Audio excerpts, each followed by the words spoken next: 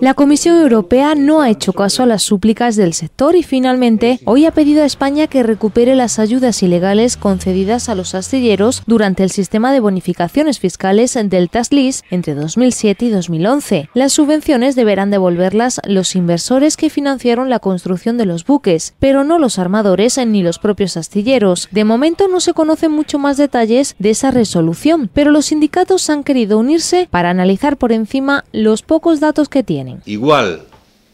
que recoñece que hubo argumentos jurídicos para mover, porque había jurisprudencia, como él mismo dixo, para tomar a fecha de corte o ano 2007, seguimos insistindo. Tamén se acompañou e se lle trasladou jurisprudencia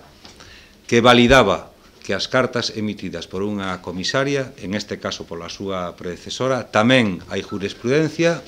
que eh, acredita que ese tipo de cartas tamén poderán ser consideradas eh,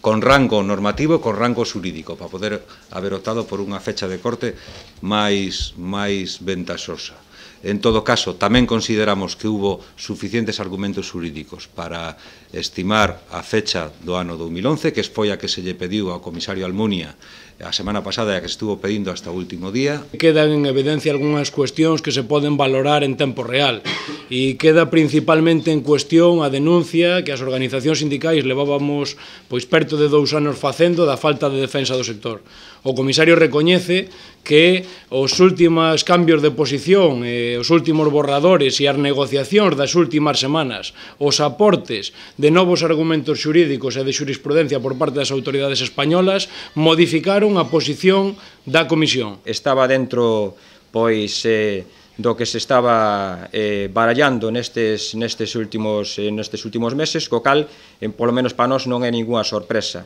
En todo caso, insisto, eh, aquí é o goberno do Estado ou que ten que dar ese paso adiante, eh, dunha vez por todas defender este sector, eh, en todo caso, eh, dependendo eh, pois, eh, de, de todas as eh, digamos, eh, especificacións que veñan dentro desta resolución, eh, sería o Goberno do Estado o que ten que avalar eh, este sector. Precisamente al Estado es a quien han apuntado a partir de ahora. En sus manos queda el futuro del naval. Calquer escenario de resolución OSE está demostrado que o sector o consuntos asteleiros son competitivos, que hai armadores onte mismo estivo un armador en este asteleiro no que os estamos facendo a roda de prensa, hai unha expectativa real de recuperación da actividade, pero precisamos eh, apuntalar a seguridade xurídica, a confianza lexítima dos inversores e precisamos probablemente acompañar algunha decisión concreta dende o goberno que reforce o que poida conteñer a resolución para eh, fortalecer a confianza lexítima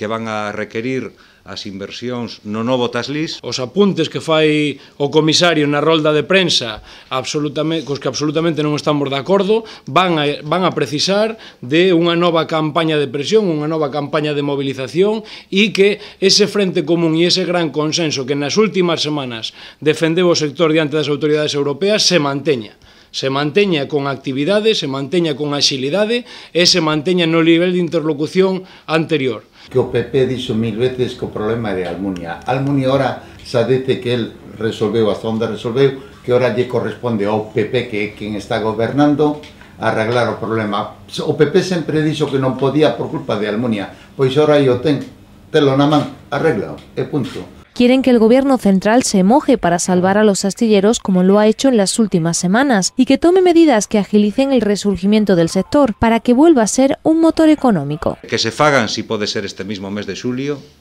porque hai eh, escenarios de contratación eh, no sector con un número importante de armadores que precisan o antes posible de que todas esas labouras precisas que conleve implícitamente a resolución que se fagan o antes posible. Pedimos, como temos pedido outras veces, que aquí nadie se vaya de vacacións